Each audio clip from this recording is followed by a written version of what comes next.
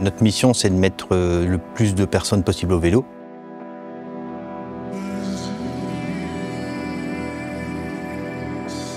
Et donc on a créé les, Magic Bike. En fait, c'est des vélos concept dans lesquels on va euh, incarner différentes solutions technologiques ou différentes idées, nous faire challenger là-dessus pour voir si les idées sont intéressantes ou pas.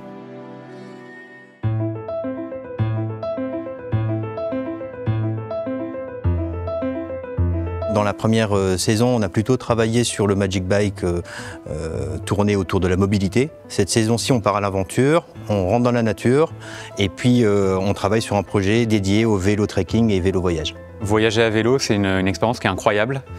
Euh, le vélo, ça permet de facilement euh, s'évader euh, des villes, de quitter les routes pour parcourir la campagne, les forêts, pour partager une aventure entre amis ou en famille avec les enfants. Mais malheureusement, il y a de nombreuses personnes qui ne franchissent pas le cap du premier voyage à vélo parce qu'en fait, ils se posent des questions et c'est des questions qui restent aujourd'hui sans réponse.